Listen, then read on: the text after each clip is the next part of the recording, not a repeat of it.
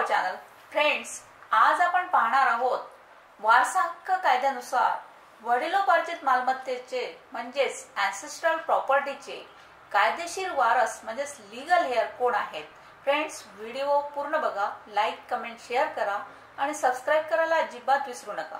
तर चला पाहूया आपण वारसा कायद्याबद्दल माहिती. आता वारस ही अशी व्यक्ती आहे ज्याला त्याच्या पूर्वजांच्या संपत्तीचा वारसा मिळण्याचा अधिकार आहे. म्हणजेच अँसेस्ट्रल प्रॉपर्टी मधून त्याला प्रॉपर्टी मिळण्याचा अधिकार आहे.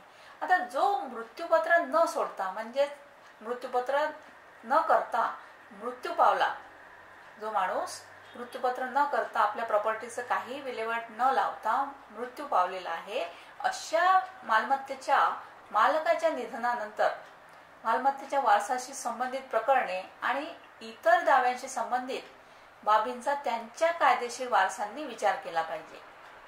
आता वारस ही संकल्पना एका धर्मापेक्षा वेगळी असते. हे येथे नमूद केले आहे की त्यामुळेच मृत व्यक्तीच्या मालमत्तेतील त्यांचे संपत्तीचे अधिकार ते ज्या धर्मातून आलेले आहेत त्यानुसार भिन्न भिन्न असू शकतात.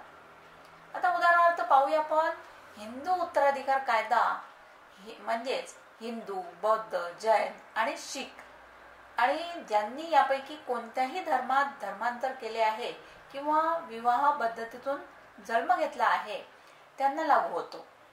आता हिंदू उत्तराधिकार कायदा भारतीय मुस्लिम आणि ख्रिश्चनांना लागू होत नाही.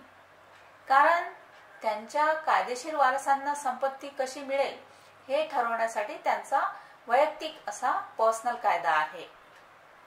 तर फ्रेंड्स ही होती महत्वाची माहिती. थँक्यू